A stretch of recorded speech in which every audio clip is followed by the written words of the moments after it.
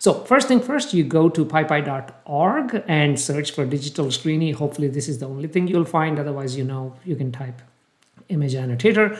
And this is version 0.58, like I just showed you, as 0.5.8, and it may change obviously. Now, on GitHub, you will find this again under my GitHub account. Look for the link down below. I don't know where you're watching this video, but I try to do a decent job in kind of summarizing what this does. So go ahead and check it out.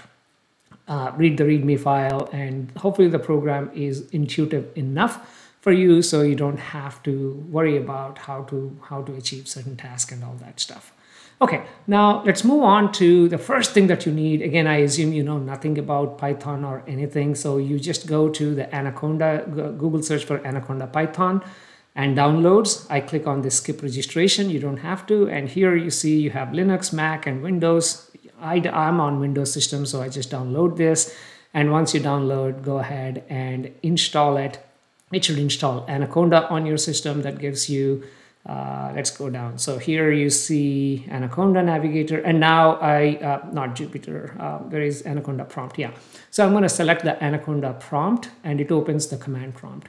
Again, I know if you're a biologist, you're probably scared of this, but just type conda create minus n, let's call our environment image annotator. I'm creating a new environment, meaning everything, uh, let me finish this, Python 3.10 because I tested everything on 3.10 and it works on 3.1 or later.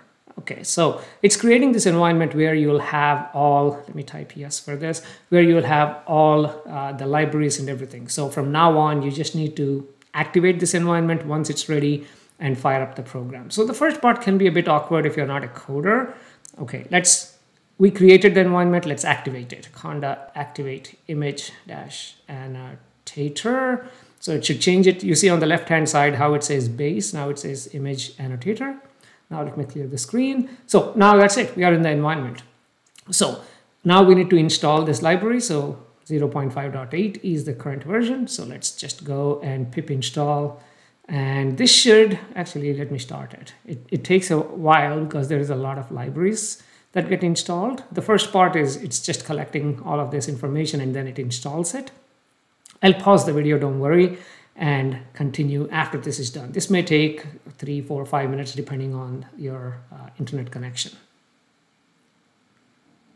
Okay, I paused the video. Now it's all done. You see it installed a whole bunch of stuff, including Ultralytics that we're going to use for auto detection of some objects and SciPy, and there should be uh, there should be uh, PyTorch. I don't see it here, but I bet it installed it. So you don't have to install it so let's go ahead and uh, you can fire up the program by typing digital Sreeni image annotator. That's too long. Let's just call it Sreeni. I created a shortcut. So just type Sreeni. It should open this program. That's it.